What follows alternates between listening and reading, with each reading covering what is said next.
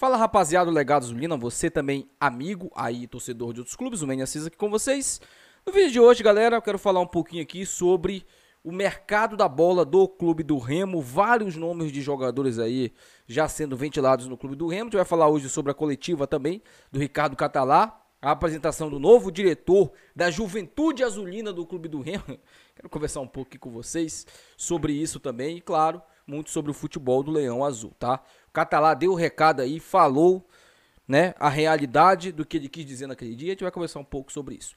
Antes, eu peço para você se inscreva aqui no canal, ative o sininho para receber essa notificação. Chegando a marca aí, meus amigos, de 40 mil inscritos, sortearemos para vocês duas camisas do Clube do Remo. Deixa o like, compartilhe nossos vídeos, é muito importante crescer nosso canal, essa atividade, sempre comentando e compartilhando nossos vídeos, tá bom?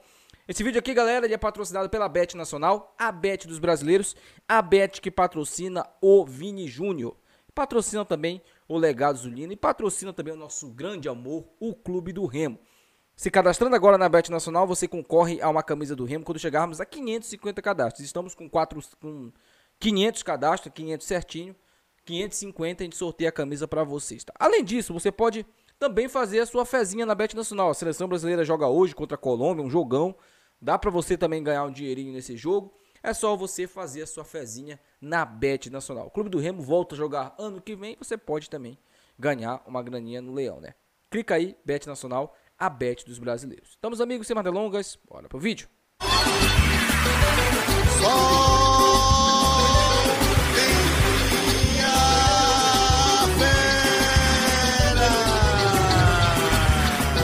Vamos começar falando aí, galera, sobre a coletiva de imprensa hoje, né? Porque foi de fato para a imprensa, né? A imprensa perguntou.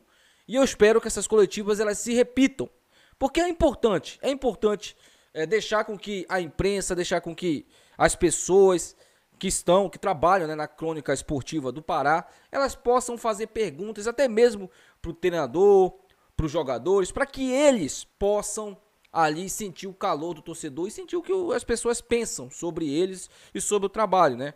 Hoje algumas perguntas bem interessantes aí na coletiva de imprensa. Espero mais uma vez que isso se repita, não quero mais ver aí entrevistas aí coletivas, né, editadas pela Samara Miranda, não quero saber disso. Eu quero ver a, a coletiva mesmo ali, o cara dando coletivo. Seria interessante, dia depois ali, o jogador perdendo ou ganhando, ele indo ali também. Eu acho que isso faz bem, cara. Eu acho que isso faz bem pro elenco, pros jogadores também. Blindar muito esses jogadores deixa muito eles amamãezados.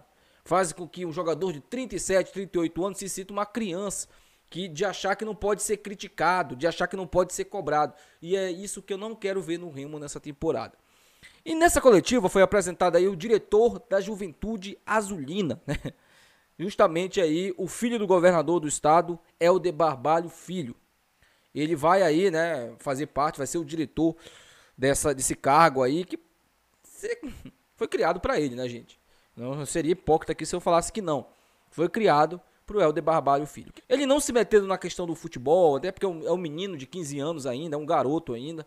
Mas isso é bom até mesmo para ele pegar um pouco de experiência. Quem sabe futuramente ele não pode virar um grande dirigente. O que a gente não pode, por exemplo, é deixar. Porque o Helder Barbalho, ele é um, o Helder Barbalho filho, ele é um garoto, ele é um menino. Eu tenho certeza que ele não vai se meter no futebol. Isso para mim já é bom. Outra coisa é você pegar um Pietro, Pimenta ou um Disson Medeiros e colocar para cuidar do futebol do clube do Remo. Isso que tá errado. O garoto não. O garoto vai trabalhar ali num carro que foi criado para ele. Vamos ver, né? Como é que ele vai se sair. Eu não vejo maldade nenhuma nisso. Vi alguns torcedores descendo o cacete aí.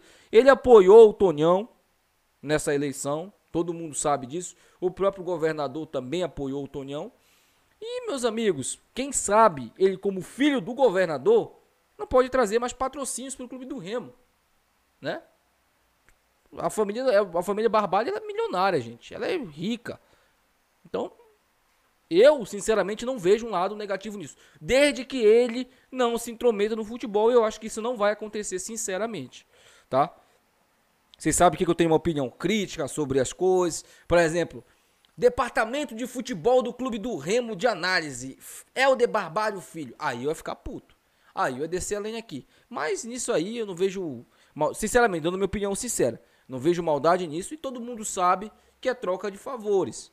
Né? Ele apoiou o, o Tonhão e agora o Tonhão tá criando aí um cargo para ele dentro do clube do Remo.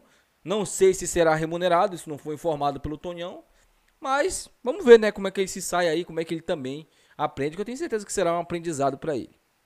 Bom, para falar agora, né, sobre o mercado da bola do clube do Remo, porque antes disso, eu quero só comentar o seguinte, né, da coletivo. O Catalá falou sobre o planejamento do ano que vem, mas o Zé Maria, né, que é o cronista do, do futebol do futebol paraense, ele perguntou referente à declaração que o Catalá deu ali logo quando chegou no Pará.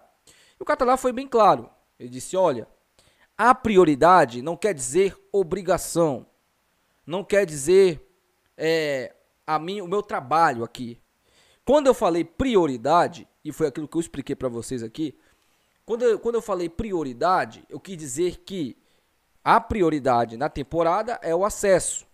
Se a gente conseguir o acesso na temporada, ela já vai ser uma boa temporada. Vai ser ótima se o Remo ganhar um, título. Mesmo que, mesmo que seja a Série C, mesmo que seja Parazão. Na minha opinião, um acesso e um título, para mim, é uma temporada ótima. Uma temporada excelente. Copa Verde, Campeonato Paraense e o acesso. Uma temporada espetacular. Os três títulos viáveis para o clube do Remo. O Remo disputa quatro competições na temporada do ano que vem e três são títulos ali que o Leão tem condições sim de disputar e ganhar. E o Catalá falou, foi bem claro, ó, não vou é, é, disputar aí a, a, série, a, a, série C só por disputar, eu quero ganhar a série C, mas também eu quero ganhar o Parazão e eu quero ganhar a Copa Verde. E o Tonhão também falou sobre isso, foi muito enfático. Eu quero ser campeão no Clube do Remo. Eu quero acesso para o ano que vem. Eu quero levantar aí a taça do Campeonato Paraense, ganhar a Copa Verde. Esse é o pensamento. Eu não espero menos que isso. Agora te, temos que saber se o Tonhão na prática vai fazer isso, né? Porque não adianta ele falar que quer, é, por exemplo, é, o acesso, que ele quer o título e contrata Muriqui, contrata Marcelo, contrata é, é, Fabinho. Aí eu sei que você não quer isso. Agora, se você montar um elenco, e pelos nomes que já chegaram para mim aqui, são bons nomes, a gente vai conversar agora sobre isso, sobre o mercado da bola. Antes Recadinho aqui, meus amigos, tá? New Autocenter para você. Vesse Contabilidade. New Autocenter trabalha com é, é, pintura, mecânica e funilaria em geral. Só você lá dizer que é inscrito no canal. Não importa se você torce pro Remo ou pro rival, você ganha um desconto. Verse Contabilidade, é só você chegar lá na Verse Contabilidade. Chega lá, diz que é inscrito no canal, no Legado Zulino, que você tem um desconto aí garantido.